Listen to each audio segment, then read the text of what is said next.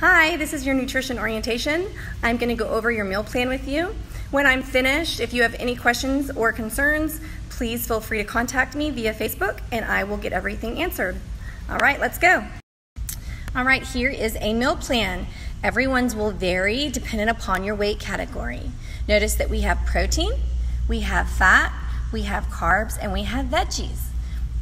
Notice that the serving size for protein is a palm, serving size for fat is a tablespoon, serving size for carbs is a fist, and serving size for veggies is a fist. Please read the word accept. It says accept. It means you can have any vegetable except the ones listed. Please eat your meals prior, two hours prior to your workout.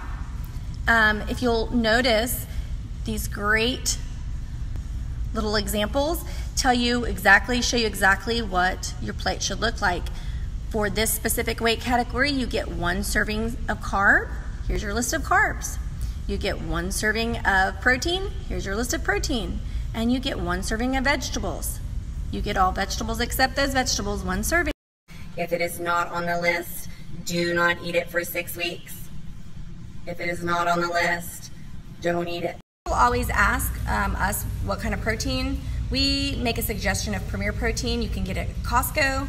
It comes in several different flavors, chocolate, vanilla, strawberry, caramel. Um, it's low in sugar, low in carbs, low in calories. We think it's a great fit. You get two of these and they go in between your meals. So breakfast, shake, lunch, shake, dinner. So that's what we suggest. Second part of the meal plan is your ultimate uh, grocery helper. And what you'll notice is that you have uh, protein, fat, carbs, and veggies. It tells you uh, exactly what to grab. So if chicken's gonna be something that you, you like, you're gonna eat, you get three pounds of it. It tells you ounces. Fat's gonna tell you a jar, a stick, a bottle, container. Carbs is gonna tell you a bag, box, loaf, um, and then your veggies. So it's pretty, pretty handy. It's a no-brainer. Um, remember, to look down here. Optional add-on flavors, there's your list. And we have optional beverages purchases. This is it, in order of awesomeness. As long as it has zero calories, you can have as much as you want, even if it's not on this list. All right, good luck. All right, now that you have your grocery list and you know what to do, you can go to the grocery store.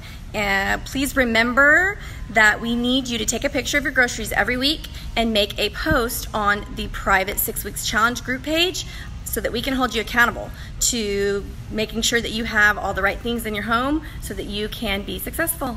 All right, have a great day. Good luck.